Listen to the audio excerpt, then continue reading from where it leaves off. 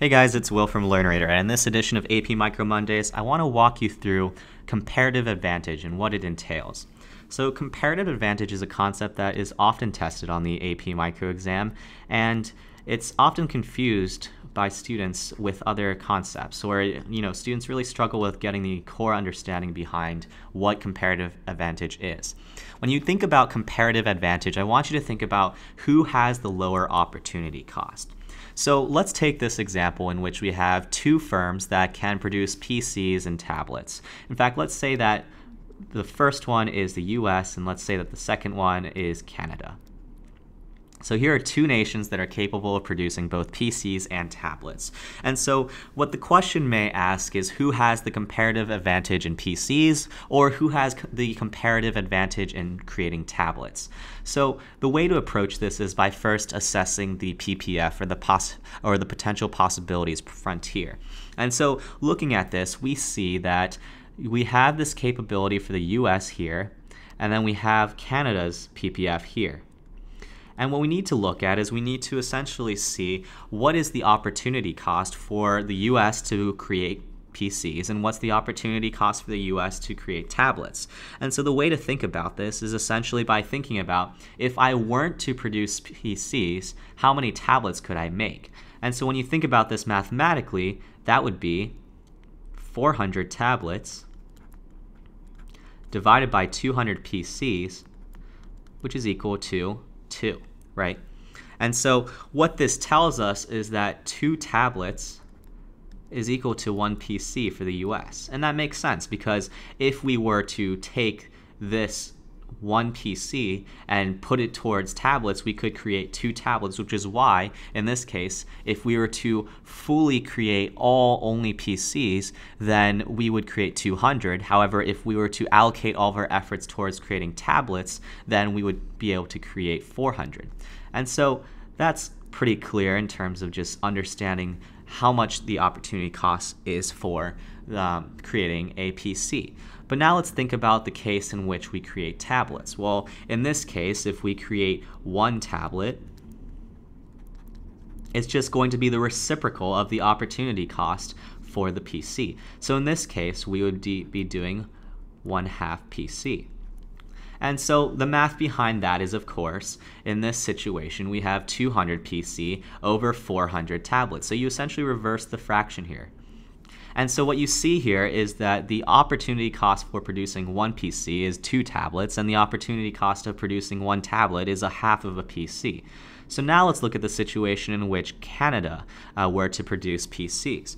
Well, in this case, if we were to produce a PC, we have 600 tablets, over 100 PCs. And so therefore, we can create six tablets with the amount of effort that we would have used to create one PC. And so as we know, this would be 1 6 PC equals one tablet.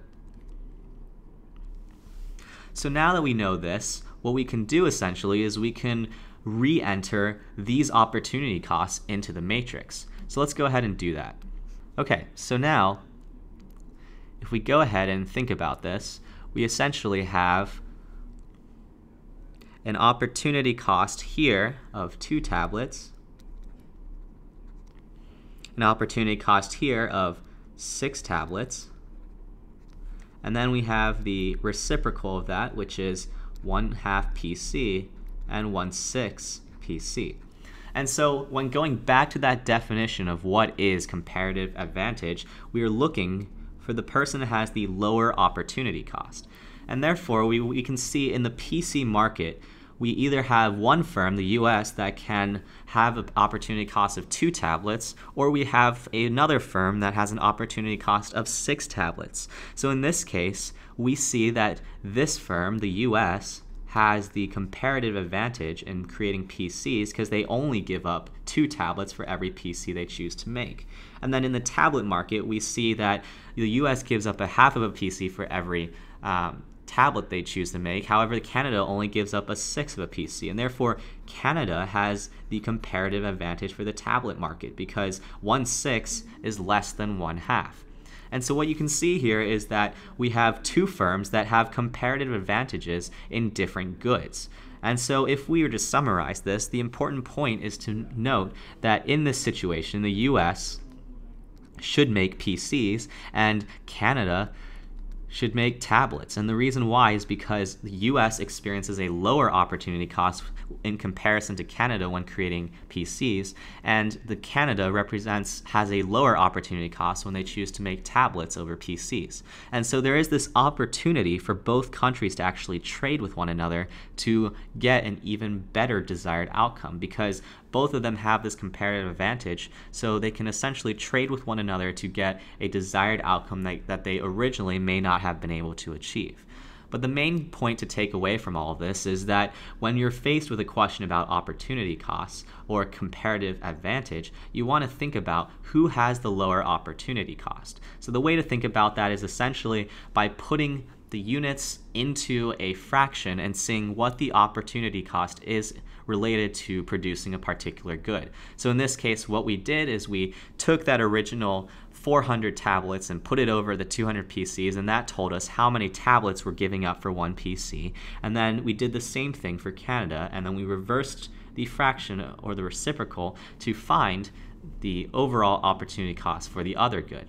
And so that's how you should approach these comparative advantage questions. Essentially, you want to think about what is the opportunity cost and then compare the two firms with respect to the particular markets. So that pretty much wraps it up for this video. I will see you guys next time.